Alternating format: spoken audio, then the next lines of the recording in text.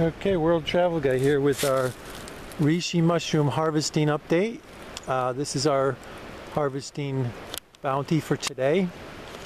Uh, we had a very good day uh, with about a dozen or so mushrooms. Uh, we probably could have found more if we had more time because we were in a pretty good area.